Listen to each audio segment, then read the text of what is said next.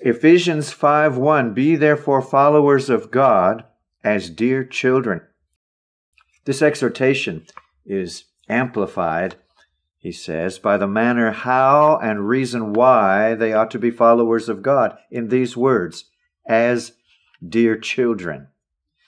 These words contain a, a direction concerning how to follow, as dear children follow their parents from their dependence upon them, their love to them, and in obedience to their calls.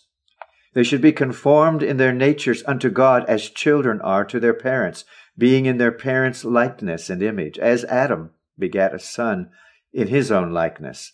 And the Son of God is the express image of his Father. And they should be conformed to God in will, as children are to the will of their parents when there's an entire mutual love and affection, as there ought to be, between them and their parents. They should be conformed to him in action, as children naturally learn the manners of their parents. And then, secondly, the words are an enforcement of the exhortation. They contain a reason why they ought to follow God, because they are dear children. They should follow God as it becomes dear children, as much as to say, You are called to be the children of God, you are taken into that blessed relation of children to the Most High. Therefore, be conformed to your Heavenly Father. And now, how we may follow God as dear children. First, a high and honorable esteem of God. Honor is mentioned in the fifth commandment as what comprises the whole of the respect that is due from a child to parents. An honorable esteem is the foundation of all the rest. As the parent naturally has complacence, that is, pleasure or satisfaction in his child, and overlooks his faults and blemishes, so the dutiful child is naturally inclined to think highly of its parent, to prefer him in his thoughts before others. And it will especially do so if the parent behaves himself towards the child uh, in instructing, guiding, defending, caring for, governing of it, as becomes apparent. And so the soul that has a childlike respect to God has a high and exalted thought of Him. As God is wise, holy, and gracious, and infinitely so, He is not blind to His excellencies and honorable perfections. He has a deep sense of God's greatness and glory, and prefers Him in His esteem to all other beings. Their rock is not as our rock, even our enemies themselves being judges, says Deuteronomy 32 31. He understands God's glorious majesty and excellency. He has a sense of the vast distance that there is between God and him. He is honorable in his eyes upon the account of his holiness. He sees the admirableness of his wisdom and mercy, and there are none that stand in competition with him in his thoughts. I know that God is great, that our God is above all gods. Psalm 135 5. He sees that God is every way worthy to be obeyed. He is convinced and satisfied that he is worthy of all that adoration and respect, that labor and service which he requires, that he is worthy of all and much more than we can give him. Second, love. This necessarily arises from such a high esteem.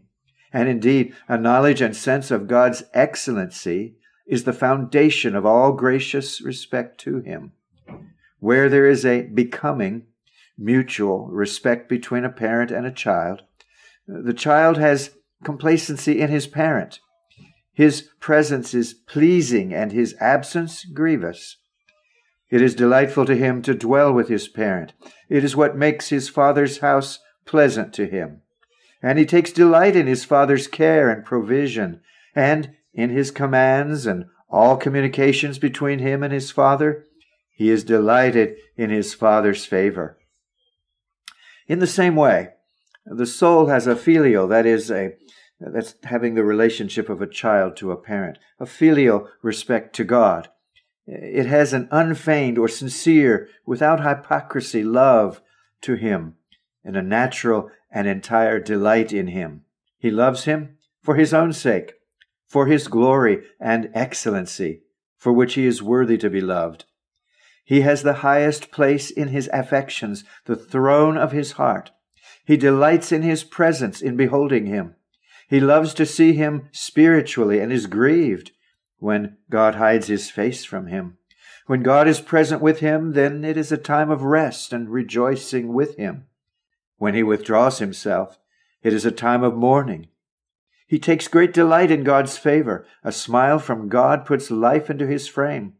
He is therefore greatly desirous of doing what shall be pleasing and acceptable to him. It is a pleasure to him to obey his commands. He loves to be like his Father and imitate him. He earnestly seeks God's glory and is rejoiced when any glory is brought to God's name and when he can be, anyway, the instrument of it. Third, humble reverence. Reverence is a disposition becoming children toward their parents by reason of the superiority and authority that ought to be maintained in the parent over his child, and by reason of the relation they stand in to them as means of their being. And this is a respect towards the parent that attends love and complacency in the dutiful child. And this especially takes place in those that have a filial disposition towards God. It necessarily arises from a knowledge of God's glory and the distance between Him and us. God's glory consists as well in His awful, that is, awe inspiring majesty, justice, and jealousy, as in His attractive goodness and grace. And a due sense of that part of His glory will certainly possess the mind with awe and reverence, as a sense of His sweet beauty and goodness will possess the mind with joy and complacence. It is not the nature of this holy awe and dread to be an allay, that is, a, a, a diminishing to the pleasure and delight that the soul hath in God. On the contrary, it heightens and increases it. When such majesty and grace are joined, and a due sense of both are united, it only tends to make the soul vastly more to prize the object and to delight in the beauty and grace of it. There's nothing in this sort of reverence that, that anything tends to incline the soul to fly from God. And it tends to make the soul to humble itself before God, but not to avoid his presence. What there is of fear, strictly speaking, in this reverential disposition does not necessarily flow from the nature of it, but only as we are in this world in an infirm and imperfect state. And therefore, in heaven, where this uh, holy awe and reverence will be in perfection, there will be no fear, strictly so called. Perfect love casts out fear, 1 John 4 18. And fourth, trust. As the little child has entire confidence in its parents, it depends upon them for those things it needs. It trusts in the parents' wisdom, strength, and faithfulness in taking care of it. It trusts in their love. It trusts in them to instruct and guide it, to lead, to uphold, to defend, and to provide for it. In any danger, it will fly to its parents. It puts confidence in them. The same disposition is in them who are of a childlike disposition toward God. They have an acquiescence of mind in the sense and persuasion that they have of God's sufficiency, His love, and His faithfulness to His word. God is their fountain, to whom they look for what they need, and the refuge to whom they fly in time of danger. Such a respect to God should be the main principle of a Christian's obedience. God should be obeyed from this ingenuous spirit more than from fear of punishment, or respect uh, to self interest. The Christian's obedience ought not to be mercenary uh, or slavish, but of free choice and with dis- disinterested, that is, free from personal interest, disinterested inclination and delight of soul, arising from such a filial disposition towards Him that He obeys.